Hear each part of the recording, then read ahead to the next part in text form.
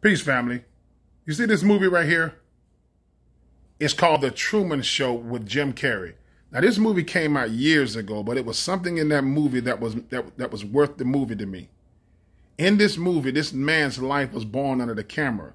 It was created in this gigantic studio, and it played out in a in a, in a, in a soap opera. Everyone knew but him. All of his friends was all fabricated. Everyone around his neighborhood around his life. Everyone was involved in it, but he didn't know. Then all of a sudden things start to happen and he started to notice what they had been doing to him.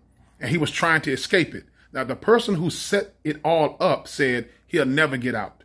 And they said, why would you say that? He said, because most people accept the reality they've been given.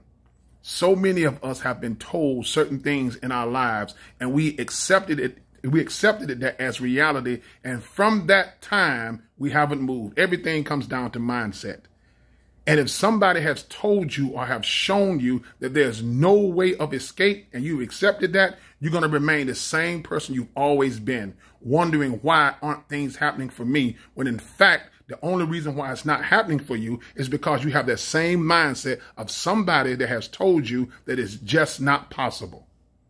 And until we break that, nothing in our lives will change. There was a time where on the earth where they thought that you could not run a mile in under four minutes until Roger Bannister came along. And Roger Bannister broke that so-called four minute barrier. But since then, up until now, they say over 40,000 people have done it, including high school kids. What changed? Their mindset changed because they saw someone else do it. Therefore, if they can do it, so can I. And they challenged that so-called reality that they was given. They challenged that and they went out and they changed their lives for the better. Until you change your mindset, nothing in your life will change. Go out and challenge those who told you you can't and prove them wrong because there's more to you than you've ever discovered, but you gotta go exploring. You're better than you think you are. So go out there and prove it. Be good to yourself. Be blessed. Take care. Peace.